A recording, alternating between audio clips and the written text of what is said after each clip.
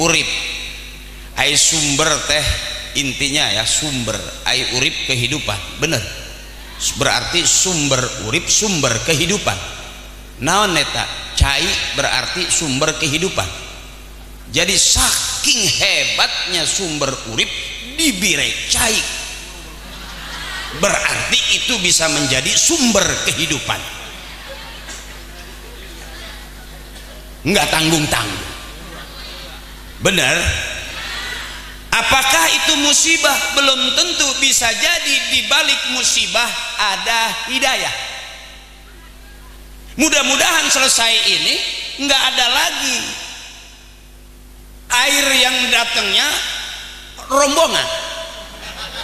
Mending kene kardusan baik sebab kalau cai datang segalon dua galon masih enak buat diminum bener jangan sampai kita salah menafsirkan. Bisa jadi dibalik musibah Allah bakal kasih hidayah. Dari mana hidayah? Hidayah ala kulli hal. Hidayah bisa datang dari mana saja. Yang kita anggap adik-adik kita orang biasa ternyata besok Allah kasih hidayah jadi orang yang luar biasa.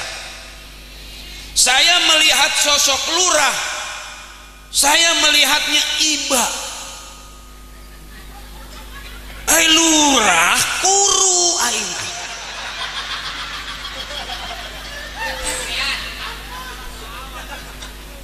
artinya kalau lurah kuru bukan kurang makan bisa jadi jatah makan dia dia alihkan kepada masyarakatnya bahkan terbalik kalau lurahnya lintu gede segede bedung bisa jadi urusan masyarakat dimakan dia. Jadi bersyukur mudah-mudahan lurah kita kepala desa kita Bapak JS kuru terus. Supaya nggak ada fitnah. Benar? Benar benar kenapa harus kurus? Supaya jangan jadi fit. Kalau perlu juga ngisi nak laleti ngancai doang prek pek pek prek pek pek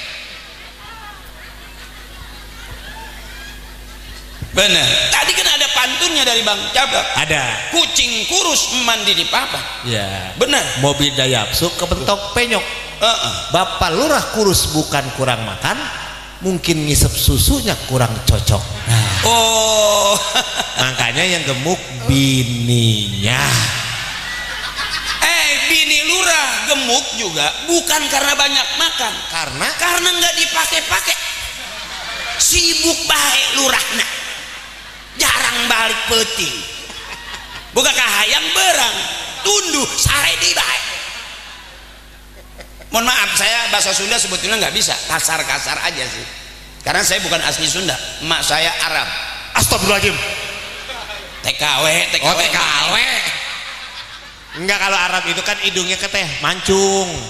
Atau atau guru mah. I- ini bukannya bukannya bukannya nggak mancung. Ini terlalu tawadu. Jadi melesek pisah dan maaf teteh orang yang hidungnya kecil umurnya panjang survei membuktikan orang yang hidungnya kecil umurnya panjang sakaratul mautnya lebih lama karena keluarnya sedikit-sedikit hmm, hmm, hmm. kalau orang yang hidungnya gede lubangnya gede tereh kapai karena boros Krek. Jadi bersyukur punya hidung letih.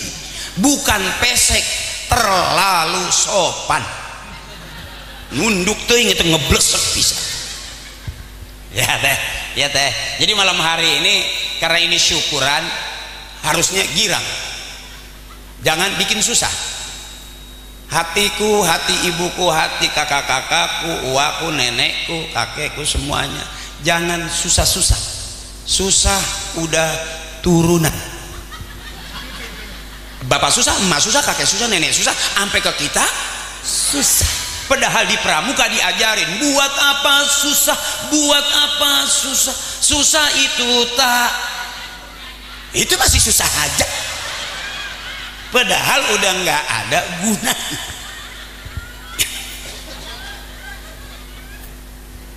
jadi rasa syukur kita. Ayatnya umum. Di ibtidaiyah kita diajarin. Ya bu. Ini mohon maaf ini mohon maaf. Saya kalau ceramah nggak banyak ayatnya sebetulnya. Bukannya belum bisa emang belum apal. Maaf ini maaf gitu. Jadi kalau saya ceramah ayatnya dikit. Mohon ikhlas kiai. Ya. Apa mak? Ah, nggak baik babnya kayak saya kalau saya, kalau saya ceramah babnya bab ilmu saya ilmu. Yang ceramah sambil. Yang dengerin juga harus. Nanti kita pulang ke rumah sambil. Karena kita pasti dapat ilmunya juga ilmu.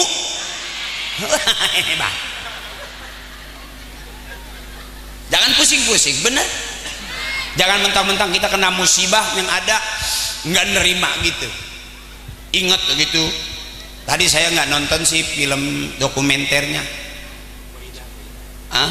ada Poidah juga tadi di situ Oh di dalam itu. Iya Poida yang koyoknya banyak. Biarin saya mah sembako ke duit nggak apa-apa dibilang gitu tadi. Ada oh, oh di layar itu. Iya di VT-nya tadi ada. Alhamdulillah berarti kan sekampung lembur urip itu banyak yang jadi artis dadakan.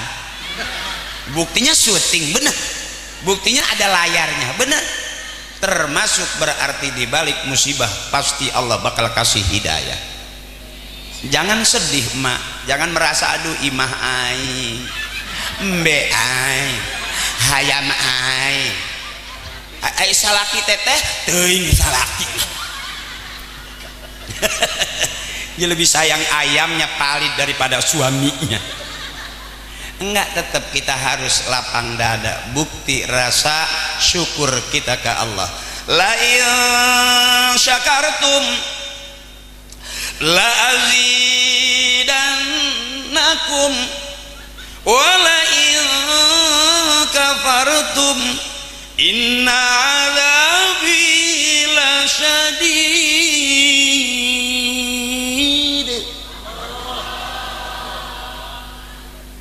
siapa orang yang bersyukur pasti Allah bakal tambah. Yang tidak bersyukur awas diancam sama Allah. Azab Allah sangat pedih. Iya teh? Hari ini kita masih sehat panjang umur. Apa kemarin gara-gara covid kita nggak tersiksa? Tersiksa mak. Kita ngomong harus pakai masker. Nggak kedengeran. Terlalu tebal maskernya apa orang yang pakai masker nggak mati mati juga kejedot tiang? Ya mak mak harus girang. Kita doakan yang udah masyarakat kita tetangga kita yang kena covid syahid di jalan Allah. Amin. Cuman kita berharap dan berdoa eta si covid jangan kemari lagi si covid ya. Ngapain dia kemari? Bener. Ya biar kita bisa begini lagi nih enak. Tersiksa ibu gara-gara covid. Biasanya kalau mau makan cuci tangan. Gara-gara covid udah lima kali cuci tangan enggak makan-makan begonya. Bener. Biasanya kita kalau habis mandi basah teteh habis main mandi basah. Gara-gara covid udah lima kali mandi basah enggak main-main. Tersiksa enggak kira-kira? Makanya sekarang kenapa Pak Lurah ngajak saya suruh ceramah di sini. Bukan karena saya disebut kiai bukan. Cuman kebetulan pelawak yang pernah ngaji itu baik. Saya juga kalau ceramah nggak banyak ayatnya. Bener? Kata Nabi balighu anni walau ayat sampaikan dari aku kepada kalian walaupun satu ayat. Satu ayat aja. Untung saya dibelain. Kalau 100 ayat nggak jadi saya ceramah saya bingung ngacan aku maha yang dengerin juga takutnya teteh tidur. Jadi malam hari ini kita enak. Walaupun kita sudah lalui musibah yang pernah terjadi di kampung kita tetap kita syukur ke Allah bakas bahwa semua dari Allah bakal balik menghadap Allah. Yang lain boleh berubah tapi akidah jangan berubah teteh duduk walaupun basuh-basuhan tapi berasa dong enak adem-adem. Iya kan? Syukuri aja karena adem tadi teteh. Sambil digoyang-goyang gitu tuh nah nantinya nyampe di rumah adem cuman lengket nih ini kan enak ini. Lihat tuh duduknya masya Allah enak. Teteh tuh kayak nggak berasa gitu. Padahal kan basah ini bukti syukur kita ke Allah. Bahwa dari Allah bakal pulang semua menghadap Allah. Yuk bareng-bareng. Kita nggak sadar bahwa kita pernah kafir. Begitu ada hujan nggak nggak nerima syukur. Hujan baik. Begitu panas ih panas baik. Oh cai garing ya saat ya sawah. Hujan baik banjir aing itu namanya tidak nerima syukur. Bahaya bisa jadi kafir kauliah kafir ucapan. Mun Allah aing paeh seta bugaga. Minum lu minum. Ayo batuk gini biasa batuk susah. Rada sering kalau batuk orang kaya tuh dikit deh. Kalau batuk orang susah rada banyak.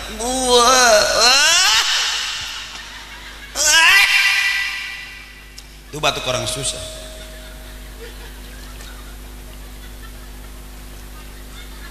Itu batuk like modal. Iya kalau batuk orang kaya dikit duitnya banyak rumahnya bagus batuknya dikit.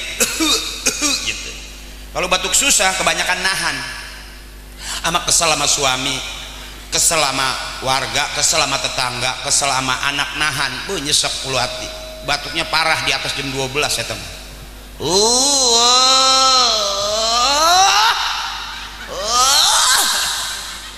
Tuh batuk begitu biasanya nggak panjang teh. Dua minggu kemudian di musola ada pengumuman.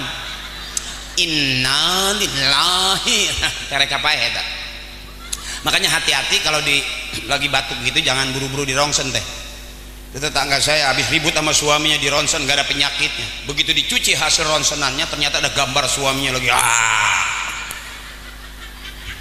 Jadi sakitnya dia bukan karena penyakit bukan karena cuaca tapi karena selalu bermasalah dengan suaminya. Makanya jangan pusing-pusing teteh mak jangan pusing-pusing. Umur di atas 50 60 cari senang jangan cari susah. Benar. Biarin suami hitam asal banyak duit. Biarin suami kuruk nggak apa-apa asal selalu ngasih. Biarin suami kita di rumah terus juga nggak apa-apa asal banyak. Biarin suami kita pergi dua tiga hari asal sebelum pergi ninggalin. Buat apa kita punya suami kalau nggak pernah mbage? Pasya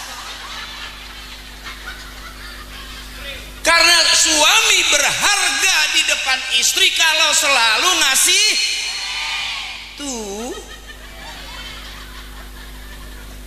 Makanya abang maaf akangku saudaraku rata-rata yang mati duluan di dalam rumah nanti suami. Maaf abangku bapak-bapakku rata-rata kita lebih dulu ditinggal mati bapak kita daripada ibu kita bahkan survei membuktikan yang lebih dulu meninggal dunia adalah suami. Maaf akang kita nggak sadar sebetulnya pelan-pelan lagi mau dibunuh sama istri kita. Udah tak ketahuan kita nggak megang duit tetap istri mintanya duit. Udah ketahuan kita nggak kerja tetap behe istri mintanya pagi sore siang malam suami nggak megang duit tetap istri minta. Itu pak yang bikin kita cepat mati.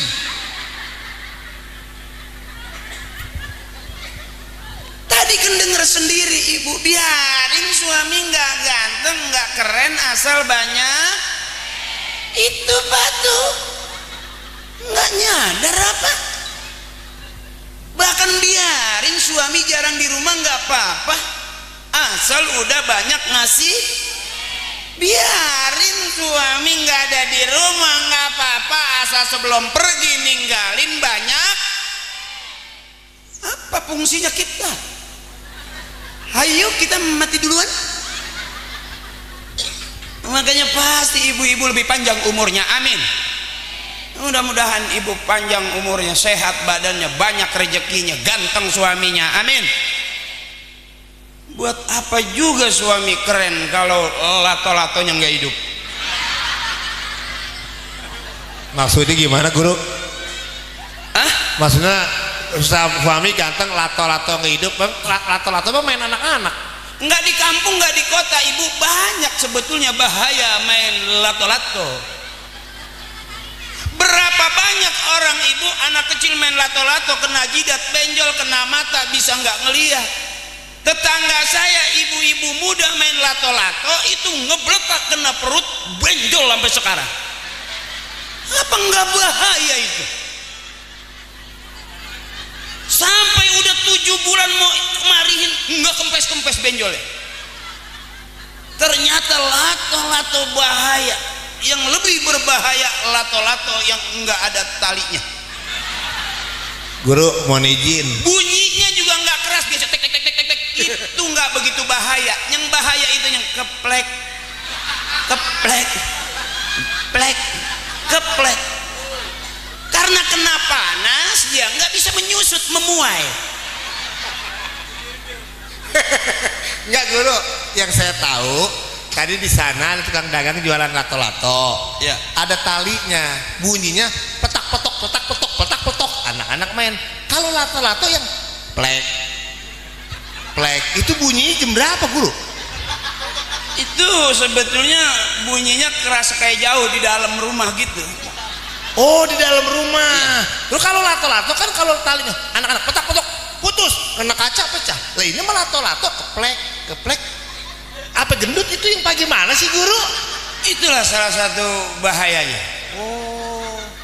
Makanya hindari ibu bener bener lato-lato yang nggak ada talinya dan dia bisa keras kalau dikasih bebasahan. Zaman bahula teh aki urangnya beres ngagebot eta di lato-latona telas eta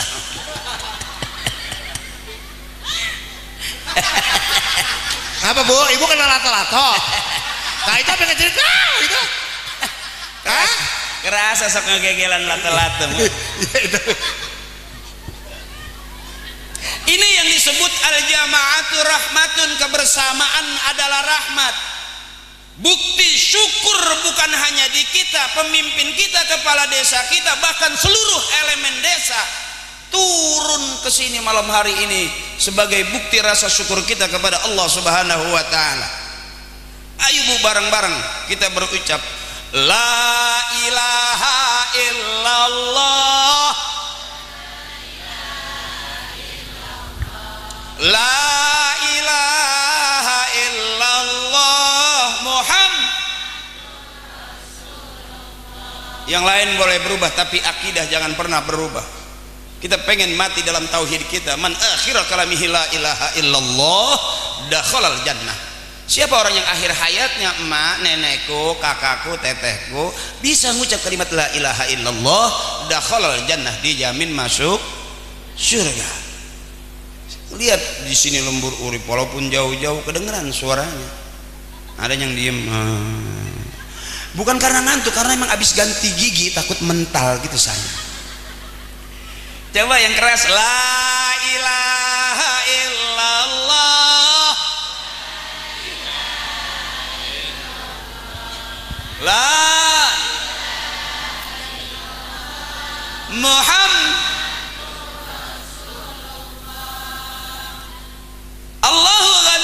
amman siwa. Makna la ilaha illallah kata guru saya. Allahu ghaniyun amman siwa. Allah maha kaya. Semua makhluk butuh Allah, hewan butuh Allah, tumbuhan butuh Allah. Kita manusia butuh Allah. Yang di darat, yang di laut punya Allah. Semuanya dari Allah bakal pulang menghadap Allah. Faman kana yarju liqa'a falyamal amalan shalihan wala yusyrik bi'ibadati rabbih ahada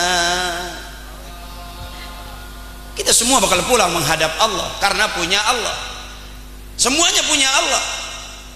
Lillahi ma fis samawati wa ma fil ard. Punya Allah yang di darat yang di langit yang di bumi semua punya Allah. Kalau barangkali ada ujian ada musibah bisa jadi kerusakan di darat di lautan karena tangan-tangan manusia. Yang di sono buang sampah yang di sini kena banjir. Yang di sono nahan-nahan air yang di sini bisa kena. Biarkan itu sebuah masa lalu. Tapi yakin semua ujian karena kita